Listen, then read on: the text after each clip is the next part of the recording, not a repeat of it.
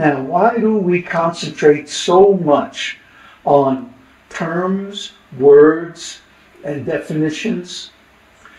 Because the stage of name and form and the stage of consciousness have a feedback loop between them.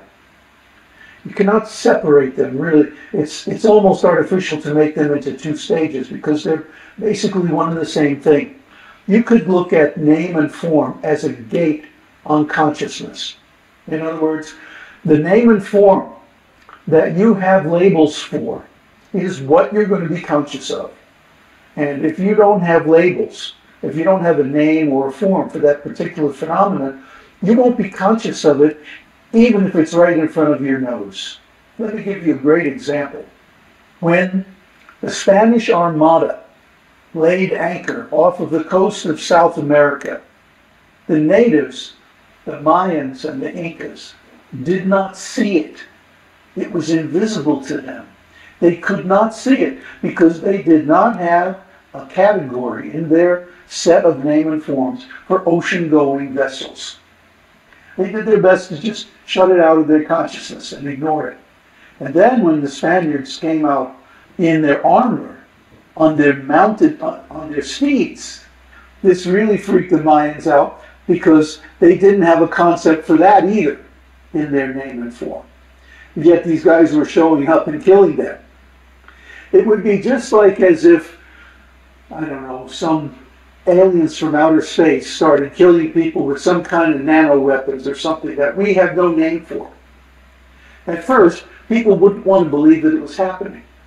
They wouldn't see that it was happening. They would see something else. They would call it something that was already present in their network of names and forms, in their ontology.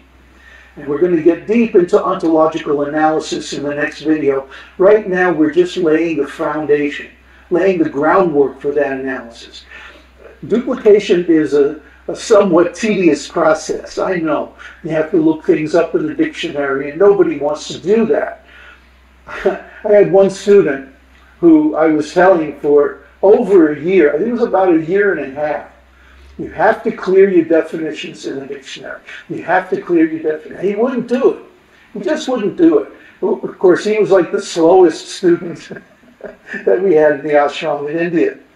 Finally, after a year and a half, one day he came to me and he said, Wow, I just had the most incredible experience. I said, What, did you see God or what? he said, No, I looked up some words in the dictionary. And it's like everything is clear to me now. And I'm going, That's what I've been telling you for a year and a half since you got here.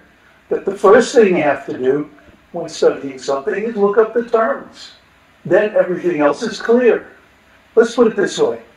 You can bang your head against the wall studying a subject for years and not make as much progress as you can make in a week or two by identifying all the unique terms or uses of terms in that subject and looking up their definitions in a good dictionary. This is my experience. Mostly it's going to be outside of your ontology, outside of your name and form because everybody knows the teacher is going to tell us to look up the words and we don't want to do it because the teacher told us, right? Duh.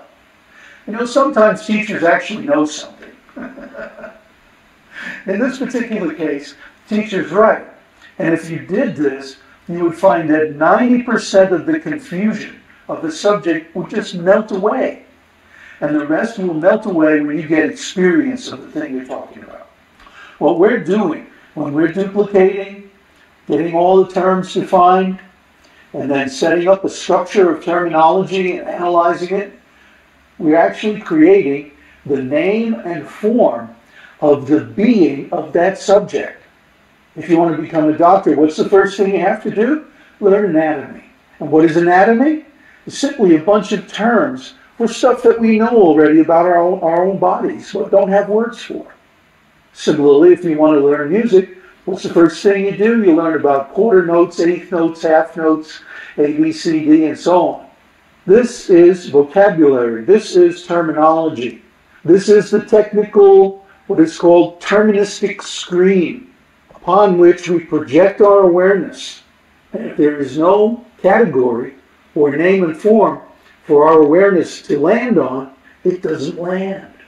And we are unaware of that phenomenon until we develop a terminology or category of meaning for it.